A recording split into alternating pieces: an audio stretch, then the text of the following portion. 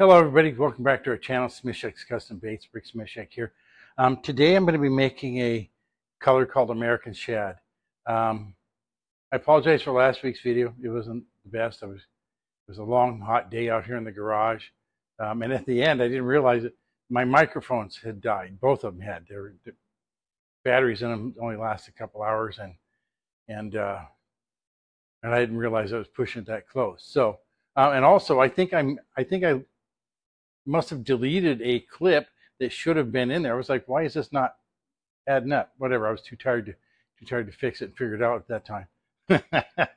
um, but today, I'm rested. We're starting over. I'm only going to do one video today. Um, but I said in uh, two weeks ago, I said I would put the uh, the link to to American Shad in the in the description. Well, I don't have the video anymore. Um, I deleted all of the house colors for whatever reason. I don't remember why at this point. Um, so I'm just going to redo them. And today I'm going to make that video American Shad. I'll go ahead and once the video is uploaded and scheduled for release, I'll go ahead and put the link in the uh, in the description of, of that of that video from two weeks ago. Um, why am I not at the refuge today? It's Tuesday. Well, because tomorrow night I totally forgot about this until I got an email. I was going to leave yesterday morning. Um, I got an email reminding me about a self-defense class I'd signed up to go to in Omaha. That's happened 6 p.m. tomorrow night, um, tomorrow evening, I guess. Um, so I have to go to that. Well, I don't have to, but it's something I want to go to, so I just delayed my trip by a few days. Um, I picked up a tent to go to, to for camping. Um, I could have got a dome tent. A, I can talk. A dome tent for uh, for a hundred bucks, but instead, I got a yurt for 120. Right. So the yurt looks a whole lot looks a whole lot more roomy than that six person dome tent did. Um, and it's only 20 bucks more. I think it'll be worth every penny. Um, it seems like it's going to be pretty easy to set up. Um, there's only like four steps. Um, it'll, it'll, take a little bit, but um, you just stretch it out on the ground. You stake out the, the, the floor first, and then uh, you, you put in the center pole and then the pole for the doorway. Um, and then you use guy ropes to, to finish it off, which it might be a little time consuming to get it right, but um, especially the first time. But uh, I have confidence I can handle it. And uh, so I, I bought some basic camping gear I have food already, ready to go, and uh, my fishing baits are ready to go. My my fishing stuff's ready to go. Um, I have covers for both kayaks right now, um, which is nice. Um, so uh, without any further ado, well, by the time you guys see this, you should see this tomorrow. Uh, you should be able to see us on Wednesday, um, and then the next morning I'll be leaving for the refuge. So hopefully, the next week next week's video will have um, pictures and some news on how that on how that all went. Um, one other thing, real quick, there's nine lakes at the refuge that are open to fishing, and I found out that this last winter, six of them had low oxygen levels. Um, they've had drought conditions in the in the sandhills for the last three-ish years or so, um, which has lowered water levels, and then with the ice and then the snow over the ice, um, water levels in, or water levels, oxygen levels in six of the nine lakes were very low. Um, it's not last the last information, the latest information I should say, should say that I saw. Um, they they still didn't know how bad the winter kill, if the, if it happened, um, how bad it was, um, or how long those oxygen levels were that low. But at least three of the lakes had plenty of oxygen. So um, when I get there to the refuge, I'll stop and ask them if those other six lakes are still fishable. If not, well, I still have three other lakes I can fish. So no biggie. Um, so with that said, let me get the let me get the plastisol uh, cooked, and I'll show you how to make this. All right, so let's go ahead and do this. Uh, first things first, we're going to do the top. And the top was going to get nine drops of this black.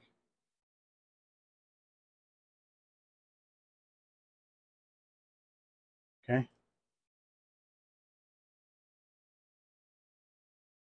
Set that aside. All right, here we go. There's a few air bubbles in it, but that's okay.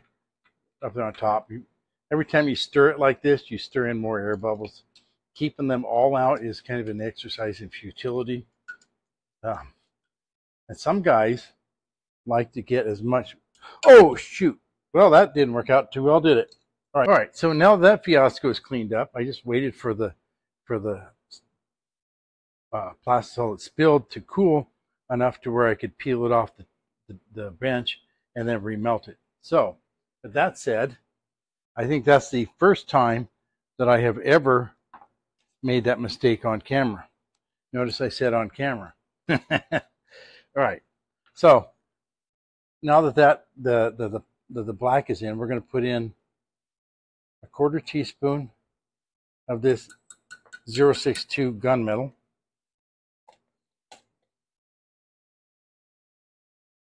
The stuff here.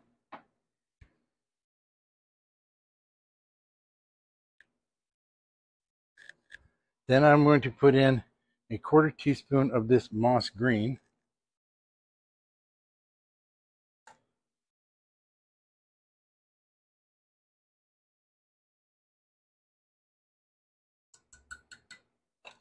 And then because I'm not making a, um, I'm not making a bloodline swim bait. If I was making a bloodline swim bait in this color, I would leave out the chartreuse, which I'm only going to put a small amount of this in. Um, because when you look up the shad, there's a um, there's they have a yellow tint across their uh, all across their lateral line. So we're going to put in just a little bit of this to simulate that. Um, when I do the bloodline swim baits, I make the um,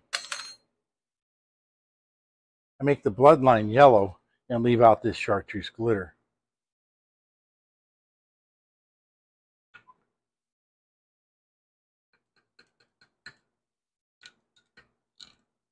Notice we're not spilling anything this time. yeah, try not to do that.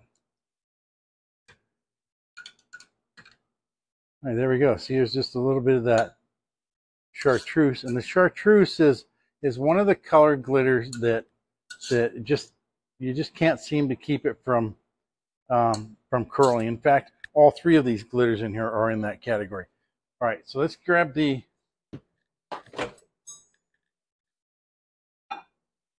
grab the other measuring cup here. All right. Now for the bottom side, um, we're going to put in a quarter teaspoon of this white pearl powder here.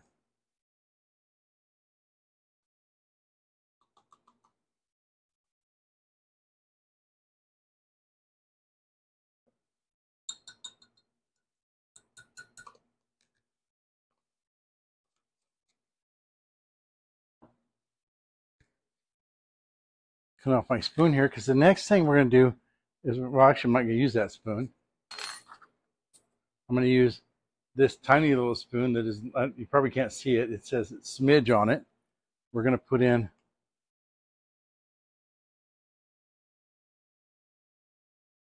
about like that. It's a violet highlight powder.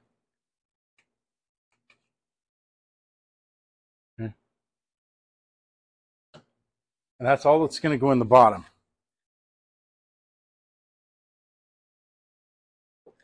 All right, let's go ahead and stir this stuff up. This takes a little bit more effort than just stirring in. And you can kind of, I don't know if you can kind of see it in the through the camera, but I so definitely see it um, when I look over the camera. Look over, the, yeah, I don't see it here, but there's um, but I could definitely see the purple highlight, the violet.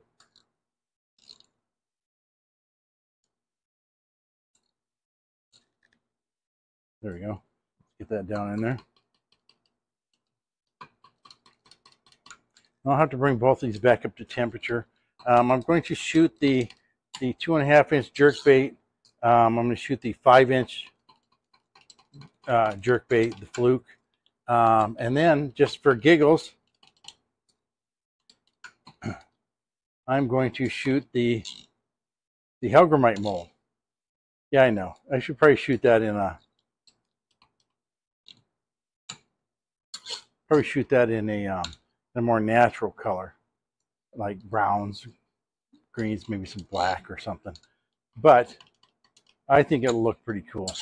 And that's what I'm doing today, just for that, just the cool factor. All right, let me go ahead and heat these back up, bring them back up to temperature, and we'll get set up to uh, shoot these. Okay, let's go ahead and shoot these molds.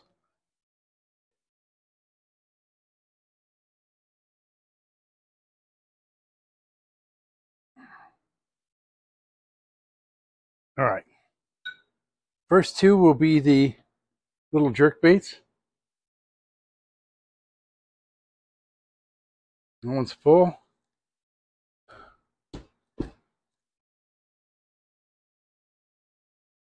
This one is full. Now for the five inch jerk bait, the fluke.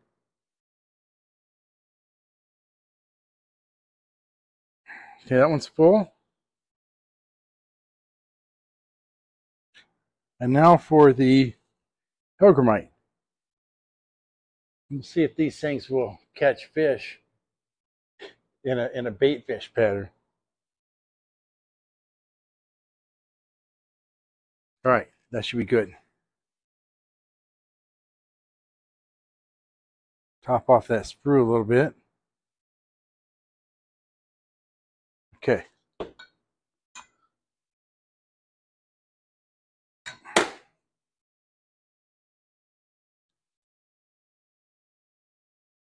That one was kind of tough this time.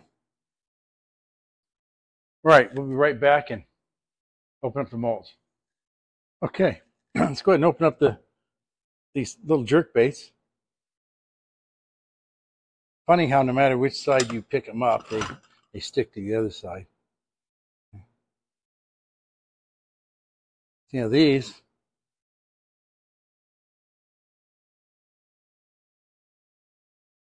These have all laminated very nicely. Okay.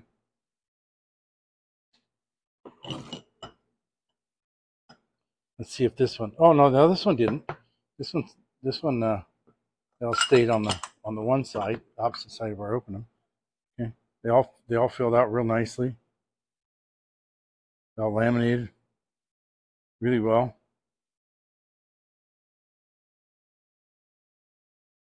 Yeah, those are pretty nice.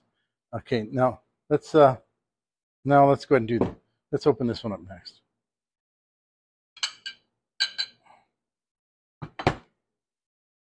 Now these this one here it always sticks to the bottom because because of these the built-in hook slots. Okay. Now this side should all be pretty nice okay? when we flip them over, you notice we've got some glitter down in here, down here on this side, um, quite a bit on this one, and a lot on this one. Um, but that's pretty that's pretty standard for that mold um, to do that. One side to go really good, um, and the other side did not. Um, I've tried. I don't know. I've experimented for hours trying to get them to to all look the same on the other side and and they just don't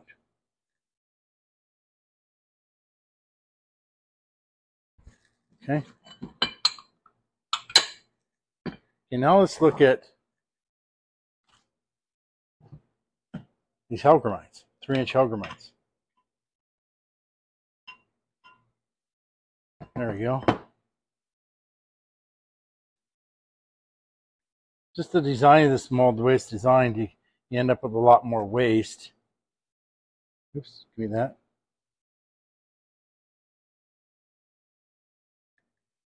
All right, take a look at these guys. But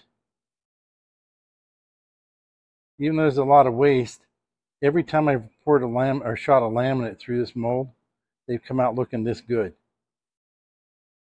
Okay. Now I don't know if this color will catch fish in this bait, but I just might have to try that somewhere because that looks that looks pretty darn good. Got a little bit of a dent there in that one, but that's that's nothing that's nothing bad, too terrible, still. That one too. Um, there you go. Bob's your uncle, huh? All right, well, that's it for today. I hope you liked what you saw. Um, this will go into the house colors uh, uh, playlist. Um, and uh, hopefully, I'm going to take all these baits with me to the refuge. Um, hopefully, they all catch fish. Well, I know the um, I know that the two and a half inch jerk bait catches crappie because I've caught them on it, uh, and, and, in this color, in fact. Um, but we'll see about that uh, Hellgrammite. We'll see what happens. It looks really good. Um, would you eat it if you were a fish? I probably would.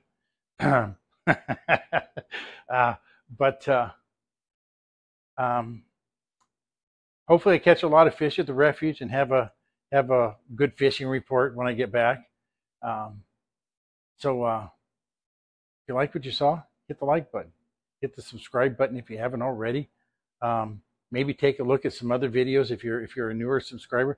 Take a look at some of the videos I made in the past and and laugh at how bad they are compared to today. Um, I'm okay with that. Um, and uh, and share share the videos with uh, with with with the people you know, whether your friends or your enemies or your frenemies. Um, our moms taught us to share, right? And sharing is one of the ways you can help the channel. That hitting the like button, watching videos. Um, we're slowly growing, slowly but steadily growing. It, it, the channel is. So uh, we'll be hitting that thousand subscriber mark before too long, I think.